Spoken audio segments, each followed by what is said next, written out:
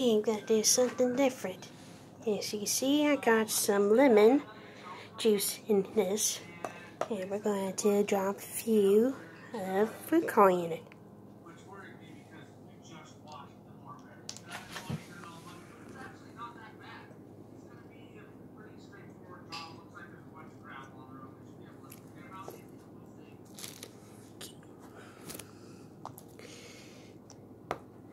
Now I'm gonna give it a little stir. Now it's lemon blue. okay. Now let me get the other ingredients. Okay, what we got here is pure cane sugar. Okay, we gotta put the sugar right in here. Next, gonna get some baking soda.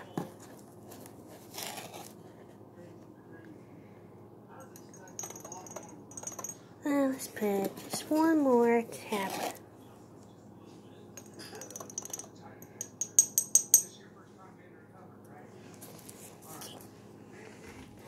Now, let's see what happens when you make mix the lemon coloring and the sugar cane and the baking soda.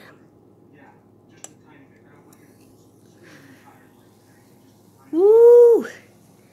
Got a reaction there.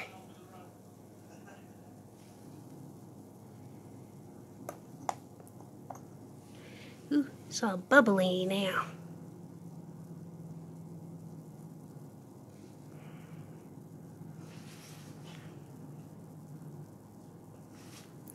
Ooh, it's making a mess.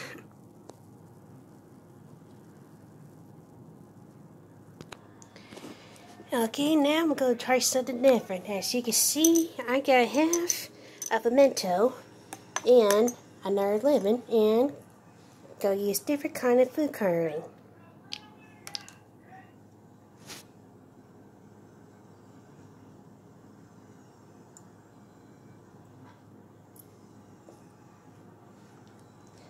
To give it a shake like before. Now, there's a line. Okay, now let me get it. Now, I'm going to drop this sugar cane with the Mentos. And I'm going to do the same with this baking soda. And this time, one scoop will do it. Okay, now let's see what happens with this mixture.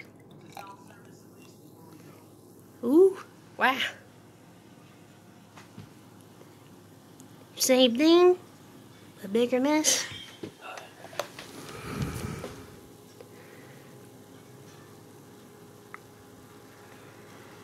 Ooh.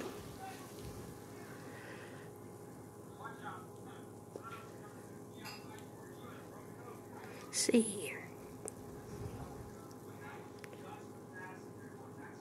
It's bubbly now.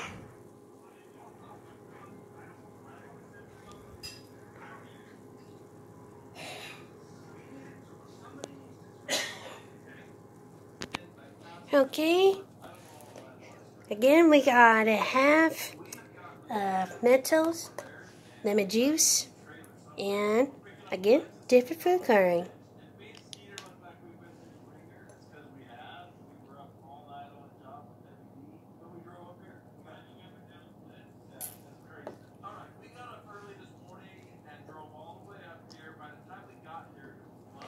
Okay, give it a good shake, shake, shake, shake, shake, shake.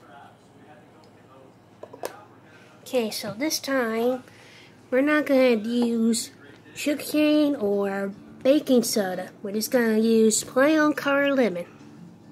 And let's see what results we will get.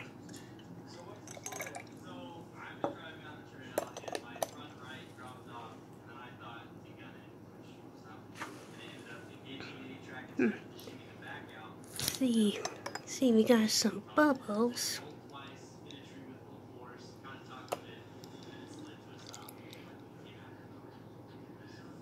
Hmm.